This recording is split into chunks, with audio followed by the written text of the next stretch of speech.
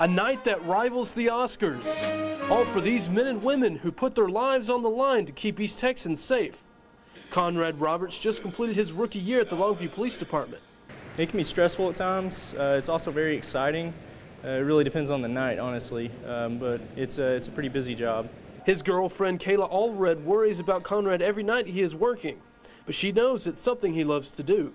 One day, um, things to not be in the favor of the good guys, and uh, want them to get shot. Conrad took home Longview's Rookie Officer of the Year award for his work ethic, professionalism, and speedy response time to calls. He was one of 25 officers who received awards at the Giants of Law Enforcement banquet hosted by the Centurion Club. That's a community group dedicated to honoring officers.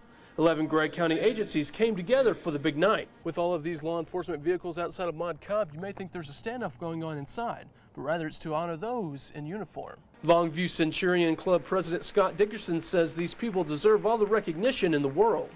Um, it's our way of showing our appreciation. I mean, it means that my, my partners really thought that, that I've been doing a, a, a really great job. In Longview, Gregg County, I'm Kevin Boyce, KYTX CBS 19 News.